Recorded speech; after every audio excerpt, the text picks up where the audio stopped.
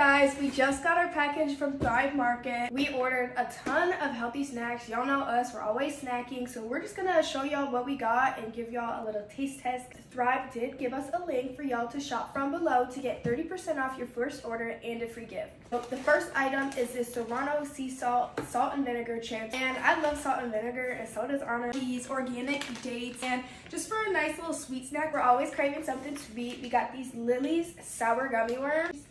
Mm. Always eating protein pancakes or waffles, and this is the Thrive Market Organic Infused Maple Syrup. These dried crisp apple rings, they're, they're the you need this like cinnamon churro puffs.